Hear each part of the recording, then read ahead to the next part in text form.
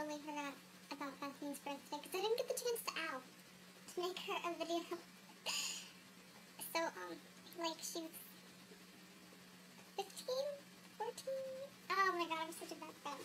Um, she's older than me now, and it's really sad because Bethany is totally one of my best friends, and like she's all like, I'm old. Um, this is her birthday video because I love her and she's amazing. to drown out the sound of it. Okay, but um, here's your birthday present. He's mm-hmm. like, get away from me. But he's not your birthday present.